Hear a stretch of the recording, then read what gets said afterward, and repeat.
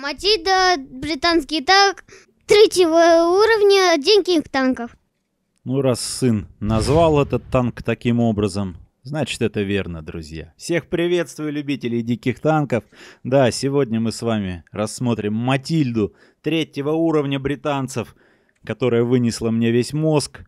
Танк, конечно, вот он, он хороший, с одной стороны, но есть огромные минусы. Многие его любят, я не очень. Вот в таком она у меня не эталонном состоянии.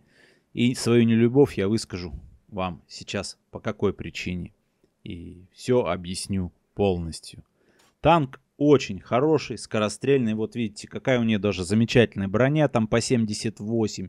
3 секунды перезарядки. Пробитие лучше, чем у Валентайма. Хотя на Валентайме я больше нагонял, он генерала взял, да? А здесь почему-то я мало на ней катаю. А дело в чем? Первое.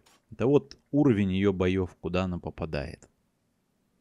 То есть мы можем попасть вот в такой уровень, где нас будут насквозь шить. И плюс Матильда издалека не пробивает никого, теряется урон. Матильда все-таки танк, хоть как бы не было, но ближнего боя. А, издалека все пробой этот теряется. А в ближнем бою с большими соперниками нам делать нечего. Нас просто убивают. Да еще мы не всегда успеваем даже доехать куда, как говорится нам. Вот смотрите, даже в третьем уровне тут есть такие серьезные ребята, как тот же Зис, вон на пушке, вот он, да, он. Мардер 2, который из нас просто нас покалечит, а мы его не успеем увидеть. Хотя будем стрелять как пулемет. Единственное, ее преимущество это, конечно, стрельба. Но, как бы она ни вставала, вот 78, ребят, везде углы 90 градусов. Вот плита 90 градусов. Если та станет боковинка 90 градусов уходит слепленная. Единственное, что экранчики, может быть, э, от фугасов каких-то защищает, но везде 90 градусов угол, так что как особого рикошета тут нету. Усиление брони, не знаю, как через каток пробивается она или нет, это вы напишите более сведущие, понимающие. Вот. Э, меня часто не пробивают, но в принципе, если попадаешь с уровня выше, шьют во все куда только хотят. Вон там еще торт на голове с вишенкой на ней. Там ее, наверное, вообще можно чем-то пробивать, чем хочешь. А может быть и нет, может это самая такая броня. Жаль, что нету здесь вот такой категории, чтобы зайти и показать всю броню. Именно как вот э, в тех же мире танков. Более удобно. Пойдемте в бой. Пойдемте в бой. Вот мы попали на карту степи. В принципе, в своем... А, повезло, повезло. В своем, как говорится, уровне там Мардер, Крусайдер, Т-34, 39, которых мы можем не пробить. Но все равно попытаемся сейчас что-либо сделать. Поедем. Еще раз повторюсь. Танк медленный. Это его минус. Танк бронированный. Это его плюс и тут же минус. Бронированный для своего уровня.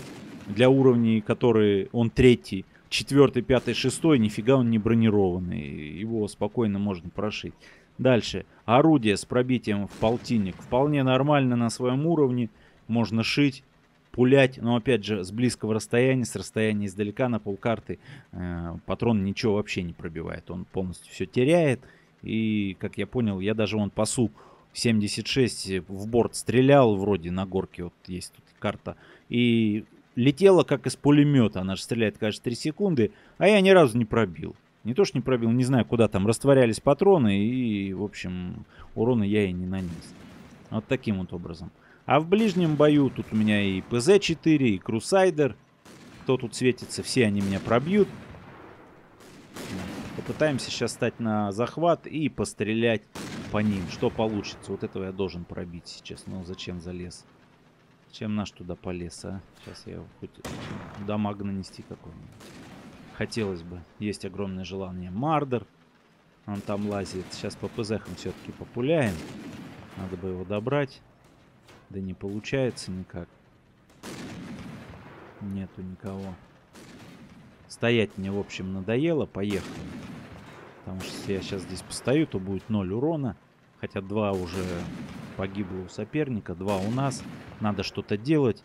Мы танк, все-таки, который можем продавить направление, который все-таки иногда срикошетить в своем уровне, поэтому не гоже нам стоять. Давайте попробуем э, давить, светить и посмотрим, что из этого получится. Может быть, поможем своей команде убить кого-либо. Ага, ПЗшка развернулся, но будем за это его наказывать. 72 пробил, отлично, он меня вообще промазал. Так, еще раз я его пробил. Еще раз я его пробил из своей скорострелочки, он меня вообще не пробивает. Я сейчас в борт дал, не пробил. Еще раз в борт. Нормально, ребят, хорошо, хорошо. Сейчас тем более он начинает разворачиваться. И не я его забрал. Ну да ладно. Так то, что постреляли. Это победа. Где-то Мардер тут рядом прячется. Его уже убили. И последняя где-то техника непонятная лазит. Но вроде была слева. Еще раз повторюсь. Танк мне некомфортен. Это вот я попал в свой уровень можно тут где-то что-то сделать. И то я ничего не успеваю. Успевают твои товарищи, которые на более быстрых танках. Издалека стрелять на ней смысла не вижу, потому что вообще ты никого не попадаешь. Не то, что вот издалека смотреть, куда. Ну, фиг его знает, куда этот снаряд улетел. Вроде свелся я полностью, вот сейчас пробил. Близко подъехать ты не успеваешь. Пишите свое мнение. Танк хорош, да, можно потанковать. Во взводе, наверное, он вообще незаменим. Тут мы даже вот второе место заняли по настрелу. 400 аж настреляв, но это не очень большой результат. С вами был Кимиев 1. Всем пока-пока и до скорых встреч.